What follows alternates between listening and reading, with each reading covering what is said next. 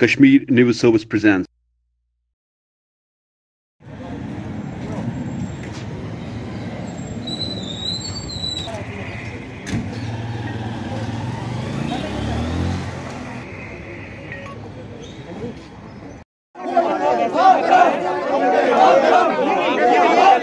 तस्वीरों में देख सकते हैं किस तरह से नज़र आ रहा है उनके झंडे को फहराने में लेकर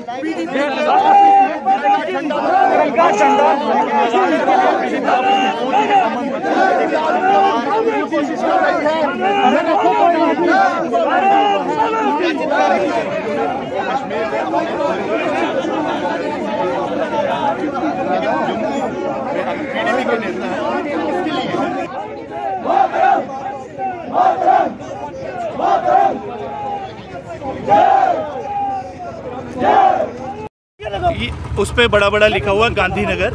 तो मुझे लगता है कि उनको देख लेना चाहिए वहीं पर। और बाकी कुछ चैनलों ने मॉब भी कहा तो एक व्यक्ति मॉब नहीं होता, मैं हाथ जोड़ के विनती करता हूँ ना मैं किसी पार्टी का एजेंट हूँ ना किसी का हूँ। एक देशभक्त व्यक्ति क्या तिरंगा लेकर नहीं जा सकता? और ये ये गमछा लगाना ये ये सरोपा होता है जो सिख गुरुद्वारों में मिलता है। ये किसी एक पार्टी का नहीं है ये आरएसएस का नहीं है ये बीजेपी का नहीं है ये हम सबका है। और इस झंडे में भी तो है। तो आप ये झंडा भी कल को कह देंगे आरएसएस का रिपीट करूँगा। जम्मू में ये तिरंगा किस तरह लगेगा? उनकी नेता कहती हैं कि उनका झंडा लगेगा तभी वो तिरंगा लगाएँगी। तो इसीलिए हम आहत हैं और ये युवा जो आए हैं साथ ही इनका भी यही मकसद है कि हम तिरंगा लगा के दिखाएँगे ये जम्मू है कश्मीर थोड़ी है।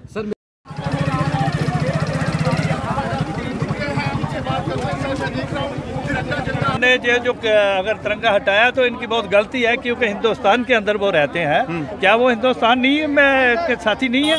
उनको ये ऐसा नहीं करना चाहिए था। तिरंगा हटाना जो है वो बहुत गलत बात है। क्यों? ये कोई पाकिस्तान में थोड़े रह रहे हैं। Thanks for watching Kashmir News Service.